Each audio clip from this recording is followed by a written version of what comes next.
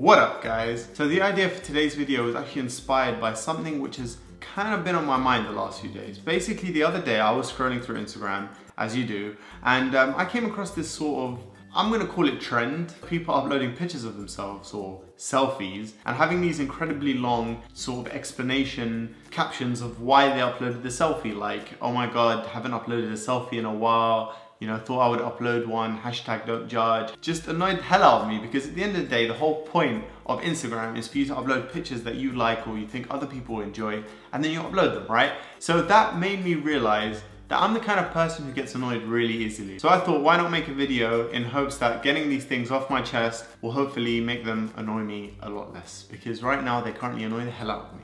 Now the first thing I wanted to mention was actually something that I mentioned in one of my previous videos in the Urban Dictionary Challenge that I did with Nadine, which you can watch over here. And we talked about something called an aisle salmon. And for those of you who haven't watched the video, an aisle salmon is basically a person who goes the opposite way of everyone else. So for example, if you're in like a pavement, for example, and everyone's walking that way, there'll be that one person who tries to walk through the people and walk the wrong way. You're literally being the most selfish you could be. Instead of crossing the road or like trying to form a path on the side to try and walk the opposite way, you're literally making people stop or divert their way of walking just so you can walk the opposite way. I just think it's just so selfish. Like for me, I'm the kind of person that I wouldn't do something if it's gonna affect other people in a negative way. So the fact that because I want to go that way and everyone's coming this way, I'm gonna annoy a hundred people just to go the way I want to go. I just, I just think that's just so selfish. Like that just, that just really annoys me. And in addition to walking the opposite direction of people, those people who just stop in the most inappropriate places ever. Like,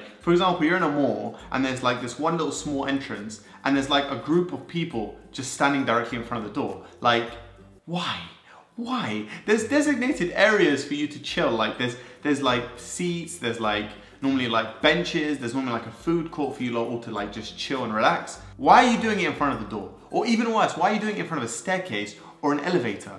Why? That's, that again to me is another thing that just makes you seem like the most selfish person ever because you have all of these other places where you don't affect anyone but you choose the one area where every single person coming in or out has to like go around you, ask you politely to excuse me. Some people probably won't even say excuse me, but you have to make them get angry or frustrated just because you want to stand there. And even worse is when you're walking somewhere and then the person directly in front of you just stops. They don't even like give you a warning, don't even make a little turn, little like kind of like signal that they're gonna stop, they just stop and then you hit into them. That's the worst thing ever. I hate when that happens because they look at you like, oh, you're such an idiot, why did you do that? Well, I'm sorry that, you know, you own this pavement, but I'm trying to walk too, you know, I'm trying to get somewhere too, I've got places to be as well. All right, the next one, I genuinely don't just get annoyed by it, I just don't understand the logic behind this. Like, you know how they say common sense is something that's dying? I genuinely believe that is true. I truly believe that common sense is evaporating from people's minds because these things just seem so logic to me. And I'm not like, I'm not sitting here saying, oh, I'm so intelligent, I'm Albert Einstein 2.0. No, I'm not saying I'm intelligent in any shape or form. I'm just saying, if you're able to, you know, use your mind 1%, you should be able to know that this is something stupid. And that is when you buy an item, for example, buy a camera, you bring that camera home, you think, yes, I'm gonna be amazing right now, I'm gonna go film some epic videos, which I'm doing right now. And um, basically that was really lame. And let me leave that alone. And then you go to open that box and you realize they didn't supply you with a key element to you using that freaking video camera, which is like, for example, I don't know, a battery or a charger. Why?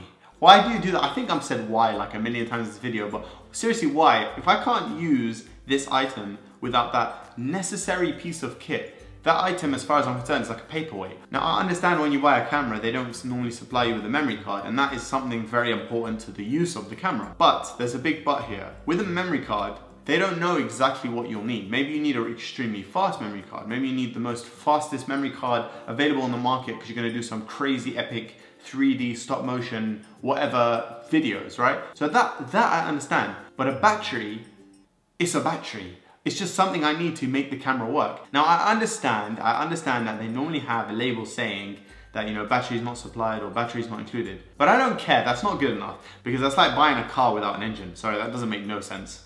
Another thing that came to mind that annoys the hell out of me is when, for example, you have someone in your house, okay, come and eat some snack or like drink in the, the fridge, and then they leave the empty packaging or carton there. Why? I don't understand why you go and eat the last like cupcake or Snickers bar or whatever, and then you leave the empty packaging in the cupboard.